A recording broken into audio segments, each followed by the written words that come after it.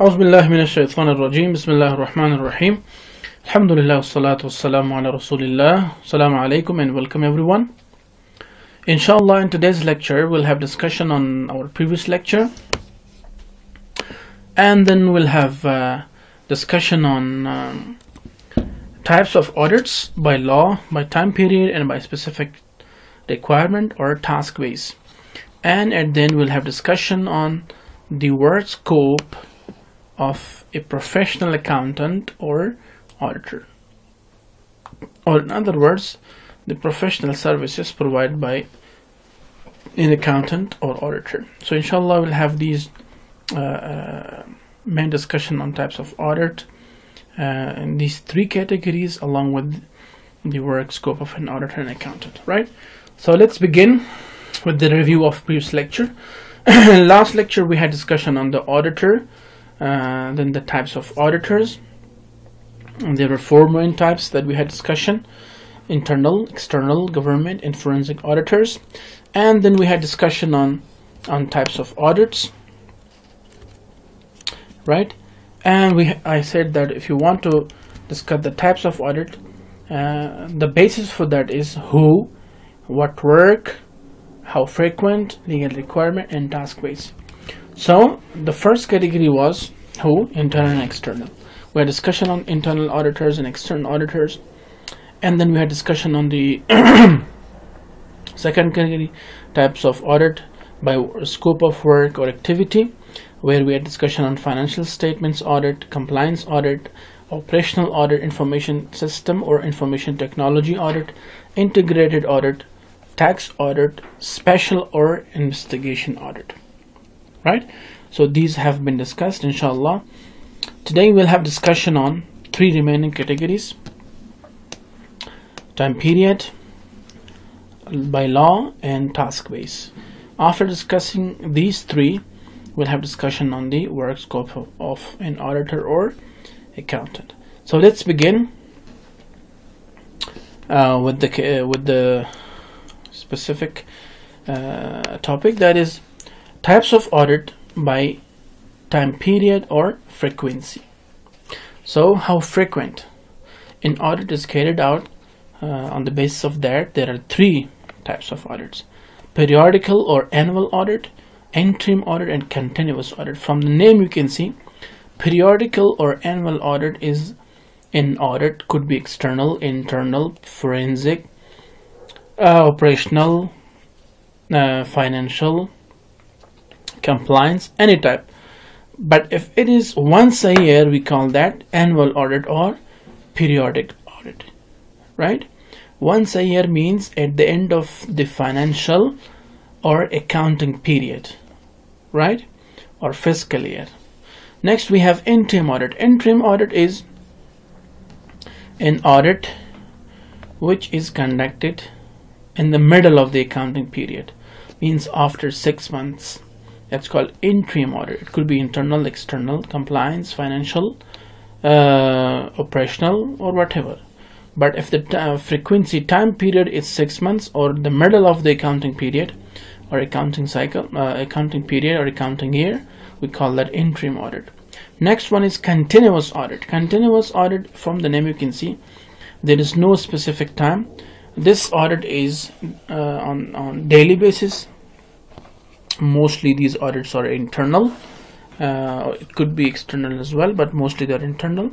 These audits are carried out on daily basis to make sure all the operational and financial activities of the organization sales and other activities of the organization are running smoothly according to the policies and procedures of the organization uh, according to international uh, accounting and financial reporting standards.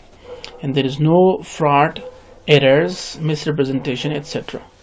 So that is continuous audit right? Continuously on daily basis weekly basis monthly basis.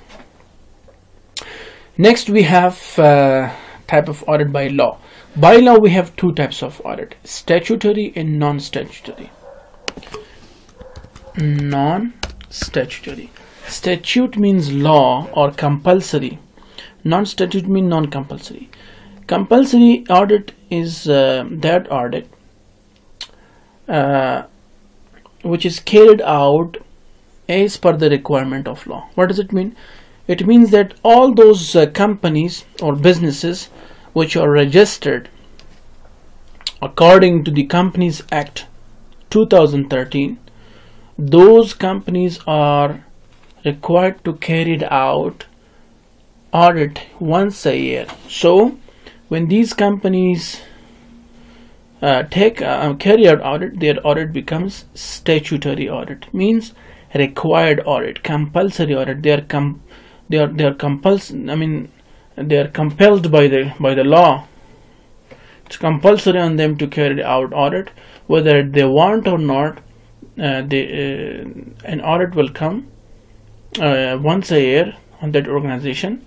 An external auditor uh, will have to audit once a year uh, all the accounting record and financial information of that company.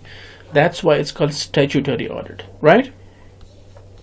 Non-statutory is non-compulsory means if a business is not registered as per the Companies Act of 2013 then that company is not required to carry out audit once a year. I mean, it's not required for them to carry out audit once a year because they are not registered as per the Companies Act 2013. So they have free hand whether they want to carry out audit once a year or not. Right? So they have a free hand whether they want to carry out or they want they don't want to carry out the audit. That's in simple words. You can read the information from the slides. Uh, inshallah, it's the same thing that I've explained to you. The main concept is the same thing, right? So it says an audit carried on as per the requirement of law is called statutory audit. For example, all companies have to get their accounts audited as per the provisions of Companies Act 2013. Uh, statutory audit refer to audit of financial statement uh, for specific or type of entity that is required by law or local body. For example, all banking sectors are required their financial statements to be audited by qualified audit firm that uh, approved by their central bank right? So that's one of the requirement on this on the banks. All the banks in Afghanistan they're required by the central bank to carry out audit once a year because central bank wants to make sure that being these banks operate properly they report properly to the central bank. That's why from the central bank side it's bending compulsory on all the banks to carry out audit once a year and this audit should be carried out by a professional audit individual firm individual or a firm a well known right? Non-statutory is um, audit of all types of entities financial statements including both meeting or not meeting the government required. I mean you are not required to carry out the audit. If you carry out audit it's okay. If not you are not required right so that's about the statutory and non-statutory the main difference is that statutory audit is for the companies who are registered under the company law and also uh, the companies who are required by the government or by the regulatory authority. And non-statutory is those, those businesses who are not required by the uh, regulatory authority or by the government or by any law to carry out audit, but they carry out audit, uh, uh I mean, with, with their own will. That becomes non-statutory. In Afghanistan, external audits mostly the companies um, are non-statutory uh, because they are not required.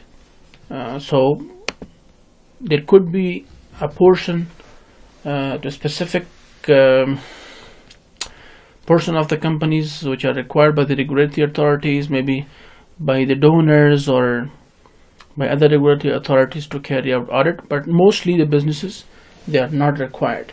So there's less statutory audit. And that's why uh, there are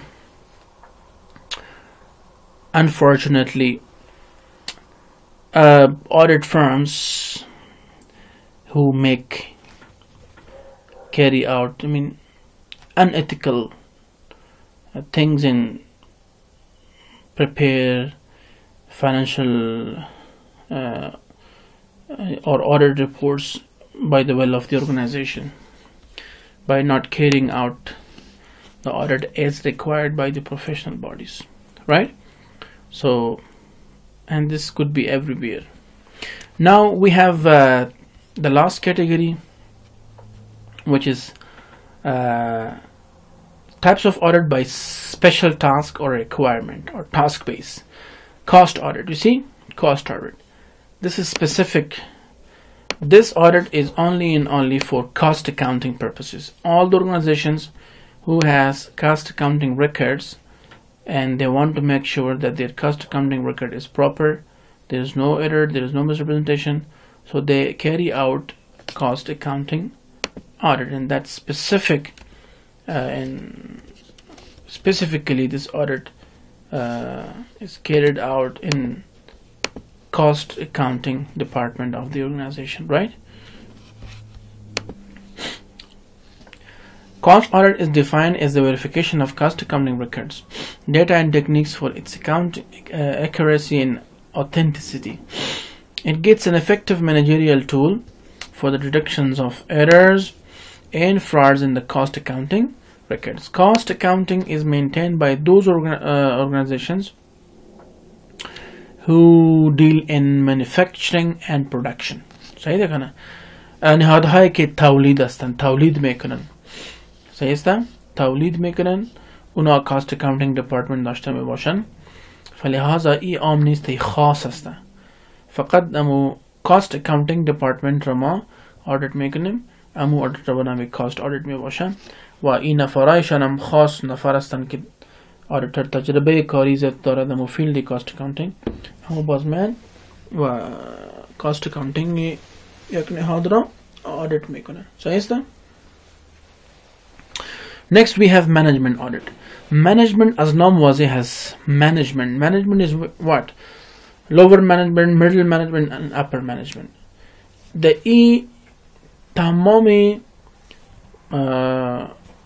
از لحاظ مدیریت یک نهاد مکمل نهاد بررسی میشه آدیت میشه و دیده میشه که آیا ای organizational structure یک کمپانی صحیح است یا نیست. مطابق امو vision mission goals and objectives of the company است یا نیست. آیا امی organizational structure یک کمپانی را برای راست می برای یا خیر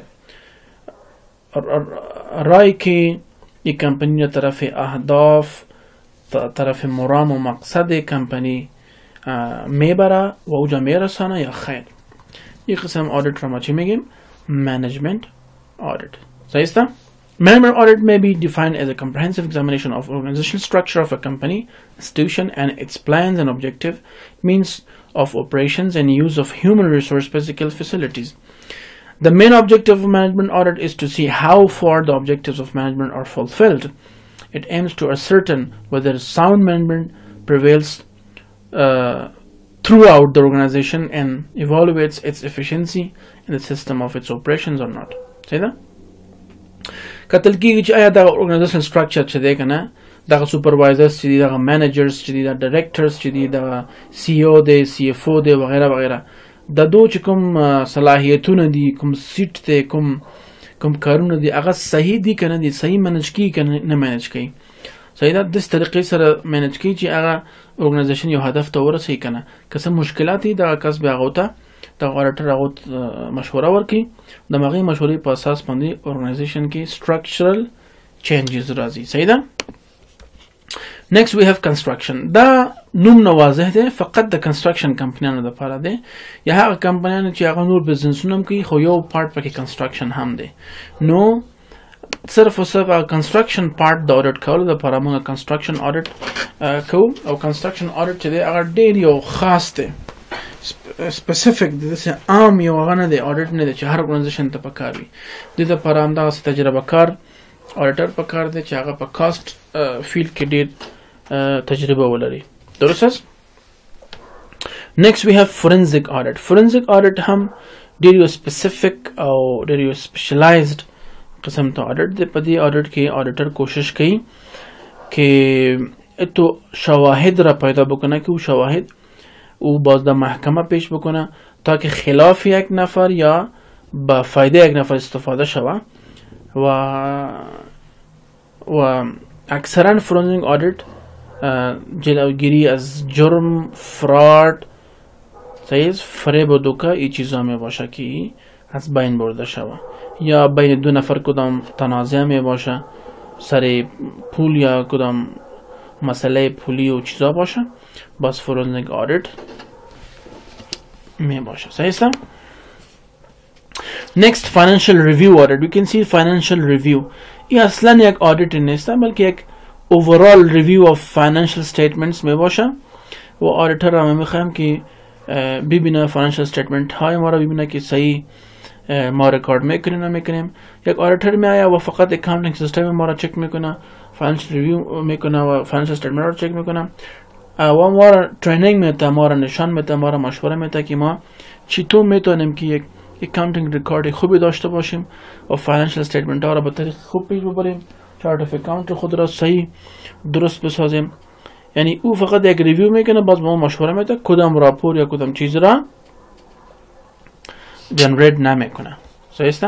که او باز فارمل باشه و به اکسترنال به اینترنال به تمام پارتیز و چی شما ستیک هولدرز کمیونیکیت شوه ایده میگن فاینانشل ریویو این یک انافیشل قسم تا یک آدیت می باشه درست است؟ So that's all about what types of audits that we have here. Three by law by time period by specific requirement or task base. Now let's discuss our last topic which is work scope of an auditor. Right? Or scope of an auditor. Uh, or accountant. So, what type of professional services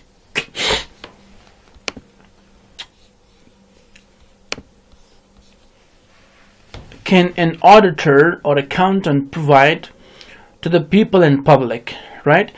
کله چې یو کس مسلکی آډیټر شي یا اکاونټنټ شي یعنی هغه سرټیفاید شي کوالیفیکیشن مو لري نو هغه د اډیټینګ اکاونټینګ سرویس نه علاوه نور کوم خدمات دي چې غرض کول شي. مثلا یو اډیټر دی د اډیټ نه علاوه نور کوم خدمات دي چې غرض کول شي. یو اکاونټنټ دی د اکاونټینګ نه علاوه نور کوم خدمات دي چې غرض کول شي.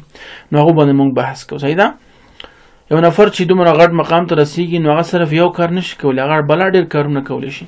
نو مونږ ګورو چې قانونی طور سره یک آدیتر یا اکاونتنت کدام کدام کارها را یعنی عرضه خدمات کرده می‌تونه. درست است Number one is accounting services. خدمات محاسبوی. صحیح است چه قسم باشه. یک نهاد خیلی خورده است. می‌تونه که یک آدیتر بره به مشوره بده. یک ماه دیگه ما اکاونت های اونا را چک بکنه صحیح برشان ریکارد بکنه پراپرلی اکاونتینگ سیستم برش پیش ببره. یا یک هفته دیگه هفته. صحیح است چون فرم خورد است اونا می‌خواه که یک نفر را هایر بکنه و فول تایم امپلایی باشه. فقط یک در بدل یک یک فیسی اندکی یک اکاونتنت می‌تونه که یک اکاونتنت می‌تونه که سی چل پینجا صد کمپانی را مشوره بده و ماهوار یا هفتوار به اونا بره هفته یک بار یا ماه یک بار به اونا بره و تمام کارهای اکاونتینگ از اونا را پیش ببره و ماهوار اونا را فیس خیلی کم چارج بکنه. صحیح این قسم ما اکاونتینگ سرویس علاوه از این یک کمپانی نو تاسیس میشه و هیچ اکاونتینگ سیستم نداره. محاسب می‌تونه که اونا را مشوره بتن که چه قسم اکاونتینگ سیستم خدا تنظیم بکنه. درست است؟ یا یک سافتور برش اینستال بکنه امپلایز رو ترین بکنه که چه قسم. دو انتری میشه و چه قسم منتین میشه. این خدمات را برشان انجام بده. یا یک یک منوال برش جور بکنه یک دیتابیس برش جور بکنه در اکسل که دو باز اون حد بتونه که دو تمام چیزا رو ریکارد بکنه. صحیح این را میگم اکاونتینگ سرویسز taxation service is tax کیس در تمام دنیا عالی لازم ملزوم است. هر نهادی باید تکس بپردازه. و این تکس پرداختن یک مصرف است که در بدل از او هیچ ما فایده را به دست نمیاریم. است فلهذا بزنس ها کوشش می‌کنه که و این بسیار جنجالی می باشد که دولت تا و بالا رفتن داره. یک نهادی که کار خود پیش می‌بره. او نمی‌خواه که دمی جنجالا خود بند بکنه فلهذا از یک محاسب مسلکی این خدمات را آوتسورس می‌کنه و او برش خدمات ارائه می‌کنه. دی چی می‌کنه؟ یک محاسب. تکس پلانینگ برشان می‌کنه تکس کمپیوتیشن برشان می‌کنه. و کوشش می‌کنه که توسط تکس پلانینگ و تکس کمپیوتیشن لایبیلیتیز این را مینیمایز بکنه. از پنالتی از جرایم چیزا جلوگیری شوه. تمام اظهارنامه ها و فرمه های مالیاتی را به وقت برشان ارائه می‌کنه. یعنی تمام سردردی را خود اکاونتنت یا محاسب یا آرتر به سر خورد می‌گیره و او نهاد را میمونه که کار خود را پیش ببره. و در بدل از او خدماتی که ارائه می‌کنه یک فیس برشان از پیششان چارج میکنه. سیز taxation services. Auditing services. Auditing services خب ما گفتم براتون، یک لیست تایپس of audits را خوانده مختلف نوع audit. یک auditor میتونه که با یک کمپانی با یک نهاد، با یک کلاینت ارائه بکنه. صحیح provision of advice in internal control system. یگان دفعه یک کمپانی ضرورت به داره که یک مشوره داده شوه. که اونا سیستم کنترل داخلی را چه قسم منظم جور بکنه که تمام کارهای داخل یک نهاد بسیار به صورت موثریت و موثقیت پیش برده شود که ضایع وقتم نشه و ضایع منابعم نشه و مکسیمم فایده به دست آورده شود و برای راست تمام کاران داخته شود تا نهاد بتونه که به مهدف خود برسه. این خدمات را هم یک محاسب ارائه می‌کنه محاسب میایه و سیستم شما را یک ریویو می‌کنه با شما یک سیستم معرفی می‌کنه. پالیسی نداشته باشین یک پالیسی براتون جور می‌کنه. او پالیسی را شما ریویو می‌کنین. تغییرات دشمر مطابق نهاد خود را می‌سازین. این هم نوع خدمت است که یک آدیتر و اکاونتنت به شما ارائه کرده می‌تونه. فاینانشال ادوایس علاوه از یک آدیتر به شما داده می‌تونه که شما اکاونت ریسیویبل خود چه قسم منیج کرده میتونن اکاونتس پیبل خود چه قسم منیج کرده میتونن ورکینگ کپیتال خود را چه قسم منیج کرده میتونن when you when you are in need of money how can you manage that for short term and for long term if you have extra money where you can spend that money financial advices or financial decisions there are three uh, uh, uh, um, you can say investment decision uh, financing decision and working capital management decision right in working capital account receivables and account payables comes and then investment comes and then financing comes right so this advice could also be entertained by the uh, professional accountant. Next, we have profit forecasts. An auditor and accountant uh, can also advise you what percent of increase should be brought in uh, in your profits for the next year, in what expenses expense, expenses and costs could be cut down from your uh, from the organization in order to minimize the profits, minimize, uh, maximize the revenue, minimize the expenses, and maximize the profit. So such advices could also be provided by the auditors or accountants, and they provide these advices based on the um, technical technical analysis and um, uh, uh, fundamental analysis, right? Um, fundamental analysis, they there are two types of analysis that uh, an auditor or accountant carries out. One is technical analysis. The second one is fundamental analysis, based on which uh, the organizations uh, could be assessed, and then advices are provided. You guys uh, should uh, search on fundamental analysis and technical analysis uh, for the extra information that's your homework for today right to see what are these types of analysis and how they are used and for what they are used all right fundamental analysis and technical analysis. Please search on that and then if you have any questions then you have to come back to me. Next is liquidation services. Liquidation means uh, selling out the assets of the company and turning them back into the cash. When this time comes, when a business is winding up, closing its businesses due to uh, insolvency or due to bankruptcy or due to any other reason. So here the services of auditor accountants are required because they are expert enough uh, and they could advise you based on the international standards and laws how uh, all the assets of the organization should be sold out and then how they could be distributed among the different categories of the stakeholders right? So this is uh, also very important and this uh, service are provided by the accountants and auditors. That's all about for today inshallah. If you have any questions in any of the topics that we discussed today in this lecture uh, you are more than welcome and we are more than happy to uh, answer and to explain the question the comments that you come back. Right? So hope you have understood and hope all is clear. I'm looking forward to hearing back from you. Right? So that's all for today. Thank you so much. And wassalamu alaikum wa rahmatullahi wa barakatuh